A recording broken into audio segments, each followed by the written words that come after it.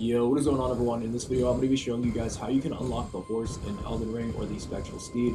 Now this item is definitely going to make the game a lot better when you can traverse around the map three times as fast. So I'm going to show you guys how you can actually unlock this item basically right away after starting your campaign. Now the best thing about this is that you can actually fight from this steed as well, making some of the fights a little bit easier as you can get away from the enemies and use more of a range attack on them. So I definitely suggest going out to get this as soon as you can. So in order to get started, what you probably want to do is actually come over to a specific location that's called the Gatefront Ruins. Now the Gatefront Ruins are a little bit ways away from where you start out, but it's only a few minutes of a walk. I'll show you guys how you can actually get there from the start of your game. So if you're just starting out your campaign, you can actually go directly to this location and unlock the horse right away. So if you haven't done this yet, just fast travel to Limgrave, or if you're just starting out, this is where you'll be. From here, you just need to go on a small run over to the Gatefront Ruins, and I'll show you guys how to get there from basically right where you start the game out. Now you will see this uh, small boss fight here. You can take him out if you want to, but you don't actually have to straight away. You can come back later once you get a little bit stronger. So just run past him if he's still here for you. Once you get past him, there will be this building on the left, and there's actually a save point here as well. You want to go ahead and unlock that so that you can fast travel back here as well later on. It's also going to make it so you respawn here if you die. So go ahead and use that, rest there. Then you can come run along this pathway. Just keep running through these woods and you'll see a couple enemies in front of you that you could also take out if you want to. But just to make the video faster, we're going to run right through it so I can show you guys exactly where this is. So just keep running on through and eventually you're actually going to see two more resting points. Once you actually activate these resting points, a cutscene should begin and it will actually start and unlock the horse for you. So we're almost there actually. You just keep running over this hill and you should see a small town here. Now there's a bunch of enemies in that town, so you don't want to really run straight in there just yet if you're just trying to unlock the horse. Instead, come over here to the left. You're going to see a, another one of those checkpoints you can use.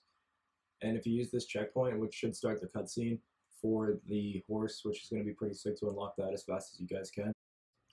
So just simply come over to this resting point and make sure to actually rest here. And as soon as you do, it will trigger the cutscene. So I'll let you guys take a look at that. After the cutscene, just accept the person's offer and it will actually unlock the horse for you.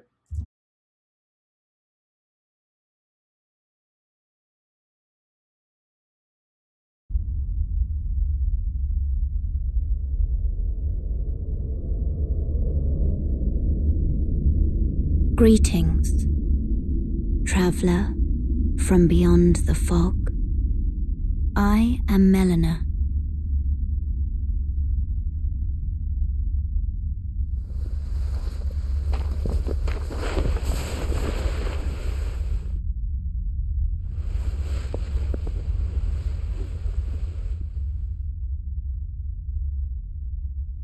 I offer you an accord.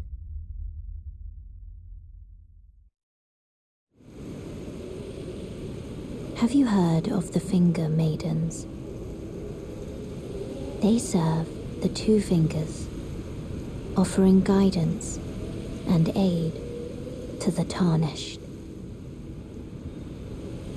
But you, I am afraid, are maidenless. I can play the role of maiden, turning runes into strength to aid you in your search for the Elden Ring. You need only take me with you to the foot of the Erd Tree.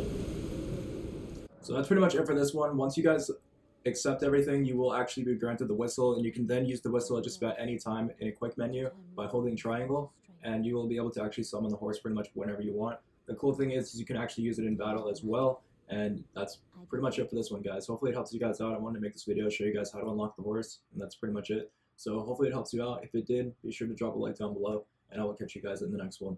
Peace.